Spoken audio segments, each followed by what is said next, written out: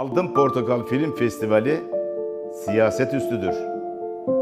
Tüm sanatçılarımızı, sinema emekçilerimizi ve sinema severlerimizi Altın Portakal Film Festivalimize sahip çıkmaya davet ediyorum.